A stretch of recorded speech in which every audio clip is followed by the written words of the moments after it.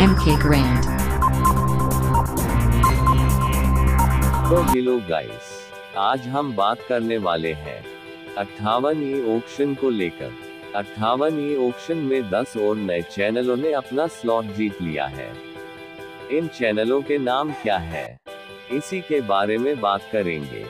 उससे पहले अट्ठावन ई ऑक्शन से जुड़ी हर जानकारी के लिए चैनल को सब्सक्राइब करें और वीडियो को लाइक करें।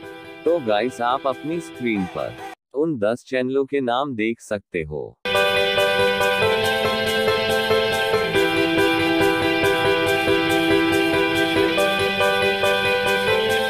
और यह 10 चैनल आपको 1 अप्रैल से डीडी फ्री डिश पर देखने मिलेंगे।